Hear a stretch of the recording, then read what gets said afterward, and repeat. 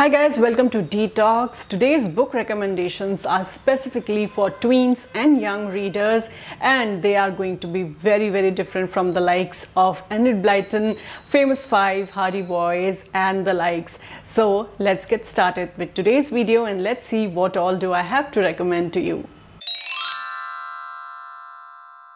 Today's video is also very important and interesting for parents who are always on a lookout for books. These are my recommendations as to what kind of books you can give to your children to read and some of them are written by Indian authors. So let's get started. My very first recommendation is this book called Feluda written by Satyajit Ray and I have two volumes of this book these two books I read in my 20s and these are over 20 years old. I mean, you can look at the pages of this book, they have literally turned uh, a little yellow because they are that old but I have preserved them because I want my son uh, to read them when he grows up when he is old enough to understand these books so um, what should I say about these books? Yeah, Feluda is our very own Hercule Poirot as we all know, Hercule Poirot was written by uh, Agatha Christie. Feluda is a detective par excellence who takes on seemingly impossible cases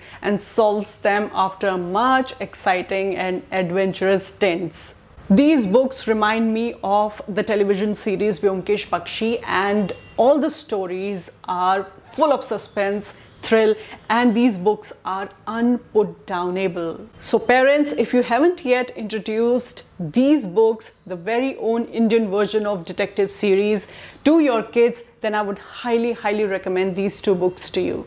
The second set of books I would recommend young readers to definitely, definitely read are the ones written by Jim Corbett I don't even remember कि कितनी पुरानी books हैं ये। These books have stories about Jim Corbett's hunting experiences in the region of Kumaon and other regions of Uttarakhand and I am sure every adult who is of my age और maybe a little younger than me or older than me they must have read these books because these are some classics. And the stories in these books are real life incidents and real life accounts documented by Jim Corbett and his encounters with man-eating leopards and tigers uh, of uh, Uttarakhand and you know how he hunted them down.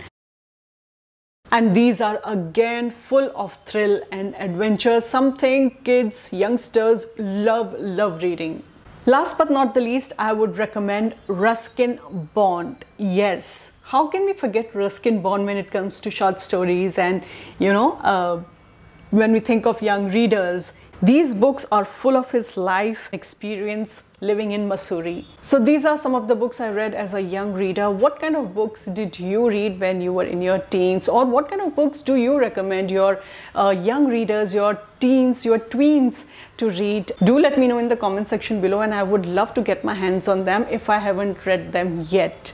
I hope you liked today's video and I hope you like the recommendations and I hope you will definitely definitely recommend uh, these books to your children because uh, they are not just related to India but also uh, you know we should promote Indian readers as much as we read foreign writers or foreign authors. With that I end this video. I hope you like it. If you did do not leave before subscribing to my channel and do press the notification bell so that every time I upload a video you would be notified and of course not to forget liking the video and sharing it as much as you can. It won't cost you anything but it will definitely help me a lot.